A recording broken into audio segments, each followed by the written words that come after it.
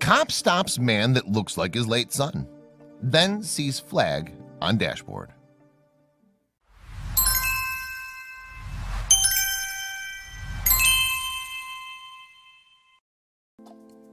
Nothing can strike fear into your heart like seeing the unmistakable blue and red flashing lights of police car flagging you down. Your mind races with all the possible things it could be for. Had you been speeding?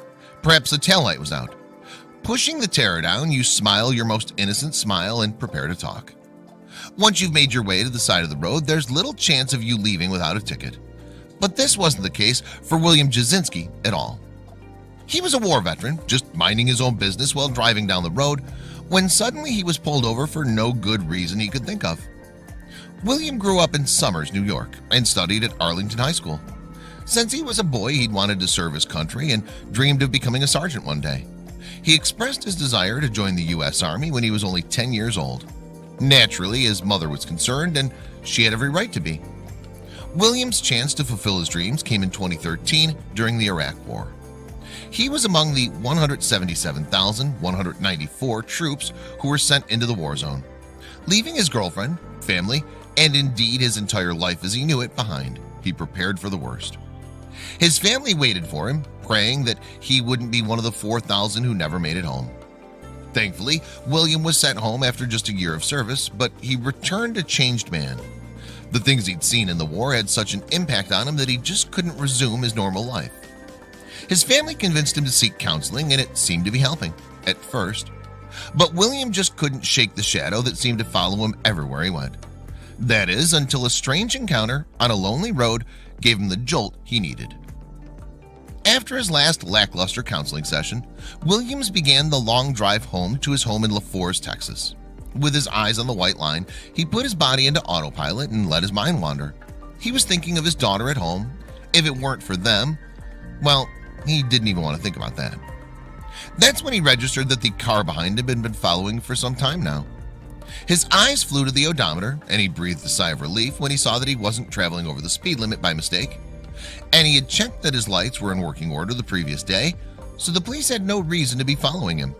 Perhaps he was just being paranoid, he reassured himself.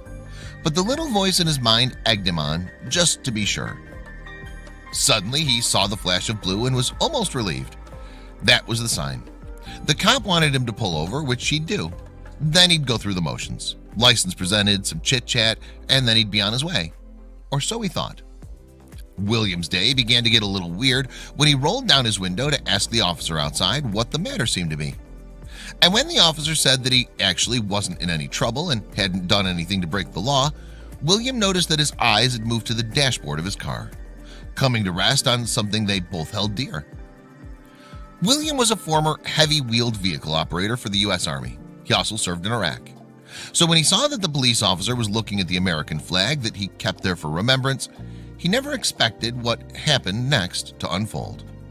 It began with the officer simply wanting to give thanks, but it became so much more.